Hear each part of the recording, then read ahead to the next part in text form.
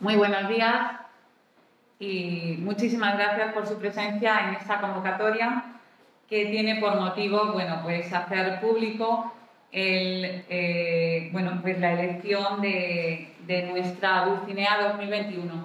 Como todos ustedes saben, en el 2020, debido a, la crisis, a la pandemia de COVID, pues no se hizo una elección de Dulcinea para festejos para, desde el ayuntamiento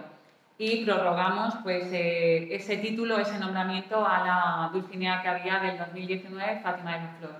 Este año consideramos que todo iba mejor, que habíamos avanzado y que era también pues, un gesto de normalización para festejos y para el ayuntamiento el nombramiento de nuestra Dulcinea 2021 y así se hizo. Em, se, se hizo pública las bases y la convocatoria, estuvo en exposición pública y tuvimos eh, tres candidatas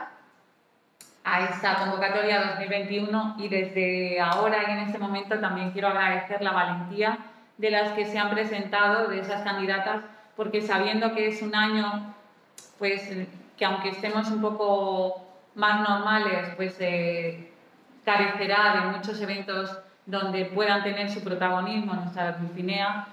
pues eh, ya es un acto de valentía y de, generosidad, pues el querer ser Dulcinea en un año también tan, tan anormal. Por tanto, pues mi agradecimiento de verdad a, a, esa generosidad que han tenido y a, esa, y a esa valentía por querer ser Dulcineas y representar a nuestra ciudad. También saben, eh, ya lo explicamos porque después de una comisión de festejos decidimos que no se elegirían cuatro damas, como venía siendo tradicional, la Dulcinea y las cuatro damas, porque eh, sabíamos el tema de los aforos, de cómo iban los eventos, entendíamos que, bueno, pues que por limitar un poco eh, la presencia, pues este año solamente nombraríamos a la Dulcinea el año que viene, pues si todo está como, como esperemos que esté, que es con la normalidad absoluta, pues se elegirán nuevamente a, a las damas. Así que, pero no por ello la, Dulcinea va a estar sola, porque ya desde su elección la tiene muy bien arropada la Asociación de Dulcineas y Damas Manchegas. En, la elección a esas tres candidatas, el, el, jurado estuvo presidido por doña Sara Susana Martínez Arcos, la concejala de Participación Ciudadana, y como vocales estuvo doña Fátima de la Flor Casas, la actual eh, Dulcinea, don Miguel Calero Santos como técnico de turismo, doña Carmen María Palmero Llévenes, que estaba en representación de la, de la Asociación de Dulcineas y Damas Manchegas, y también Frasi López como eh, presidenta de la Federación de Peñas. Y el nombramiento fue la elección fue para doña Gema María García del Castillo Serrano, que hoy nos acompaña, y bueno, pues eh, una vecina nacida en Ciudad Real, aunque ella siempre dice que se considera partes iguales de la Colachuela y de Ciudad Real, que tiene una niña, que también quiero que todo el mundo pues le dé mucho ánimo que todo va a salir bien, verás que sí. Y bueno, pues realizó los estudios en el Colegio Salesianos, eh, de educación primaria y secundaria, también luego hizo el bachiller en el maestro Juan de Ávila y la formación profesional de grado superior en integración social en el Instituto Atenea. Tiene estudios universitarios de educación social en la Universidad Nacional de Educación a Distancia por la UNED ha trabajado como becaria en Centro Ocupacional en Valdepeñas y en proyectos de cooperación internacional en la Cruz Roja Española y desde el 2006 hasta la fecha es celadora por el Servicio de Salud de Castilla-La Mancha. Sigue siendo voluntaria en Cruz Roja Española 2001. Pues quizá es una de las características de nuestra Dulcinea 2021. Una vecina que después de su trabajo pues dedica y tiene vocación para, pues para los demás con una vocación de servicio público, no solamente desde su servicio como celadora, sino también pues, para la sociedad. Por tanto, también ese carácter creo que es muy representativo de la mujer manchega, que somos muy solidarias y trabajamos por para nuestros vecinos. Desde la Concejalía de Festejos decir que nos tiene de la mano, que todo lo que podamos ayudarla para que este año sea un año especial, para que lo disfrute, para que represente con orgullo a todas las mujeres de, Ciudad Real y, a toda la, tierra que la, que la ha visto nacer. Y que, bueno, pues que no nos queda más que felicitarla y que estaremos para apoyarla y para todo lo que necesite. Y que espero que todo lo que venga por ahora pues sea muy bueno para ti y que lleves siempre a gala el nombre de Dulcinea, que no era, ya no es un, un protagonista en un, en un, libro idealizado, sino que Dulcinea Ciudad Real tiene muchos más valores y que, y que, lleva, y que lleva una realidad inherente en ella, que es la mujer luchadora, valiente, que festeja y que también trabaja para la sociedad que muchísimas gracias, Emma. Y bueno, pues ya habréis con ella que es la protagonista y ya a cualquier cosa seguro que tiene alguien contestar. Gracias. No sé si tenéis alguna pregunta. Yo me he presentado con mucha ilusión eh, porque siempre he querido conocer más de cerca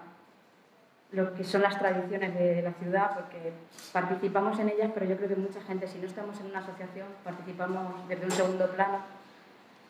y nos perdemos muchos pequeños detalles. Cuando me presenté, las otras candidatas sí que traían mucha participación y yo me veía un poco perdida en ese sentido, creía que, que no iba, o sea, me parecía un poco inalcanzable en ese sentido, porque si no estás muy mojado, a lo mejor no, no es tan fácil llegar, pero me han dado esta oportunidad, para lo agradezco mucho. Eh, espero estar a la altura y representar bien estos, valores tradicionales. Y nada, eh, decirle a las otras candidatas que espero que se presenten otro año, porque seguro que es una experiencia que deben, que deben vivir y que yo tengo ya ganas de empezar, porque quiero, quiero disfrutarlo. ¿Y qué celadora en el hospital? Sí, trabajo celadora en el hospital de Ciudad Real. Bueno, también quiero dar muchas gracias a, la Dulcinea Saliente y a la Asociación de Dulcineas porque tanto las damas y las Dulcineas como ellas se han ofrecido a ayudarme, sabiendo que este año estoy un poco sola en, este, en el sentido de, de acompañamiento. Y quiero, estoy muy agradecida porque verte un poco sola se te puede hacer grande a la hora de participar. ¿Qué es lo que más te llama la atención de las tradiciones de Ciudad Real? ¿Perteneces a una asociación? asociación como tal, no. Eh, he colaborado con la ONG que, como he dicho, de Cruz Roja, o he participado de forma puntual a veces en algún sitio, pero lo que más me llama la atención es lo que de verdad no conozco, lo que quiero aprender, porque sé que no es solo lo que vemos de primera mano, que si una fiesta una noche, que si una misa un día en concreto. Es que hay muchas cosas que a lo mejor pueden pasar desapercibidas y que me gustaría más conocer, pues algo más relacionado a lo mejor también con gastronomía, con manualidad, con cualquier otro, otro de los actos que no tiene esa visibilidad que se le da a, los principales.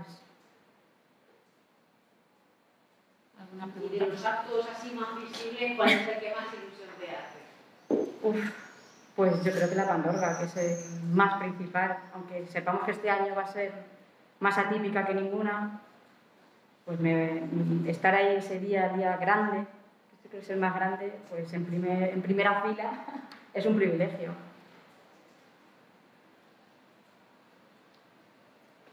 ¿Alguna cosa más? No sé si como trabajadora de la sanidad, de la real, no ¿Sí? sé si el secretario de energía de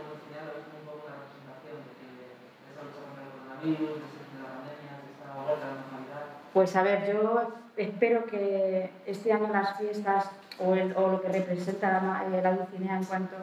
a tradiciones sea lo más responsable posible, porque no, no es darle visibilidad a la sanidad, es darle visibilidad a la responsabilidad. Hay que agradecer a la gente que ha luchado y a la gente que ha estado en casa. Todo el, todos hemos puesto nuestra parte y esto no puede quedar en balde. Hay que, hay que seguir con él hasta que de verdad podamos decir que ha terminado. Y, nos queda, nos queda un poquito todavía, por lo tanto no se puede, no se puede quedar en, nada, hay que, hay que seguir. Y de nuestra responsabilidad nos tenemos que la cabeza si se algo más de la se puede avanzar algo más, pero no se esta Pandora. Bueno, hoy decirles que nos ocupa la presentación de la Dulcinea, no quisiera difuminar ese protagonismo. Y bueno, en la, en la Pandora estamos trabajando, pero como saben siempre digo que estos últimos meses siempre vamos con esa premura, que tenemos plan A, plan B, plan C siempre, pero que bueno, pues me van a permitir que pasen unos días más para poderles presentar esas actividades que estamos preparando para esa Pandorga, que como bien decía la Dulcinea, se hará siempre desde la responsabilidad y la coherencia que nos debe desde el ayuntamiento y también sé que desde la Hermandad de Pandorgos y desde todas las asociaciones que, que se ven implicadas en ella. Pero bueno, en unos días, en poquitos días seguramente que les pueda dar mucho más detalle de esas actividades. ¿Alguna pregunta más? Y si no, que yo sé que Gema hoy es el primer día y, y está más tensa, pero bueno, la vais a tener a vuestra disposición siempre porque tiene un carácter generoso y humilde que la caracteriza. Así que, Bueno, muchas gracias a todos por venir. pues nada, muchas